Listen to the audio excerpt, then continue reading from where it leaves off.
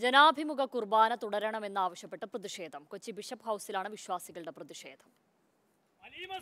തരത്തിൽ ഇത്ര ആലപിക്കുമ്പോൾ വിശുദ്ധ ബലിയർപ്പണത്തെ നമ്മൾ അഭാസ്യമാക്കി മാറ്റിയിരിക്കുന്നു. ഈ യാഥാർത്ഥ്യം നമ്മൾ തിരിച്ചറിയണം. എന്തിനു പറയാൻ? നമ്മുടെ ഇവിടുത്തെ ഔദ്യോഗികമായ കുർബാന പുസ്തകം എന്ന് വിശ്വാസികൾ വായിക്കുന്ന കുർബാന പുസ്തകത്തിൽ അതിന്റെ അനുബന്ധത്തിൽ കുർബാനക്കിടെ ആലപിക്കാനുള്ള ഗാനങ്ങൾ പലതും രചിച്ചിട്ടുണ്ട്. അതിലൊരു പാട്ട് കാണുകയാണിങ്ങനെ.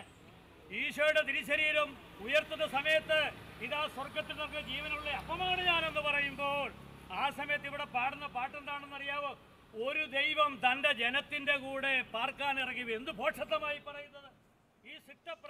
വിനയ് ഉണ്ണിയുണ്ട് വിവരങ്ങൾ നൽകാൻ? വിനയ് അവിടെ ഇപ്പോഴും ഈ പ്രതിഷേധം തുടരുകയാണോ? എന്താണ് അവിടെ നിന്ന് ഇപ്പോൾ നൽകാൻ കഴിയുന്ന വിവരങ്ങൾ?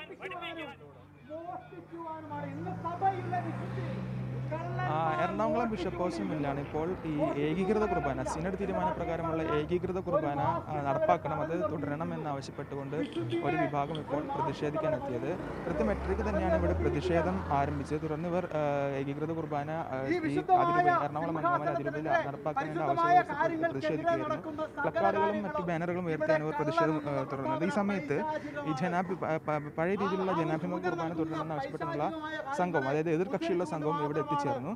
നമുക്ക് ദൃശ്യങ്ങൾ കാണുന്ന പോലെ അവർ മറുഭാഗത്ത് തമ്പ തമ്പടിച്ചിട്ടുണ്ട്. ഈ ഒരു ഭാഗം തമ്മിൽ ഒരു കഴിഞ്ഞ പത്ത് ഒരു നിമിഷങ്ങളിൽ ഇവർ തമ്മിൽ ചെറിയ രീതിയിലുള്ള വാക്കുതർക്കവും സംഘർഷവും ഉണ്ടായിരുന്നു പോലീസ് ഇടപെട്ട് തക്ക സമയത്ത് തന്നെ ഇത് പരിഹരിച്ചുകൊണ്ട് അതൊരു വലിയ സംഘർഷത്തിലേക്ക് നീങ്ങില്ല എന്തായാലും എറണാകുളം ബിഷപ്പ് ഹൗസിന് മുന്നിൽ ഇപ്പോഴും ഇരു ഭാഗങ്ങളും ആ, നേർക്കുനേർ നിൽക്കുകയാണ്. ഇപ്പോൾ ഇവിടെ പ്രതിഷേ ഇപ്പോൾ ബിഷപ്പ് ഹൗസിന് മുന്നിൽ പ്രതിഷേധിക്കുന്നത് ഈ സിലിണ്ടർ തീരുമാനപ്രകാരമുള്ള ഏകീകൃത കുർബാന ആവശ്യപ്പെട്ടുള്ള സംഘമാണ് ഇവരുടെ പ്രതിഷേധം കഴിഞ്ഞ ഉടനെ തന്നെ ഈ ജനാഭി പഴയ രീതിയിലുള്ള ജനാഭിമുഖ കുർബാന നടപ്പാക്കണമെന്ന് ആവശ്യപ്പെട്ടുള്ളതിന്റെ പ്രതിഷേധവും നടക്കും എന്നാലും ചെറിയ രീതിയിലുള്ള സംഘർഷ സാധ്യത ഇപ്പോഴും ഈ എറണാകുളം ബിഷപ്പ് ഹൗസിന് മുന്നിൽ നിലനിൽക്കുന്നു എന്ന് തന്നെയാണ് നമുക്ക് വിലയിരുത്താൻ കഴിയുന്നത്.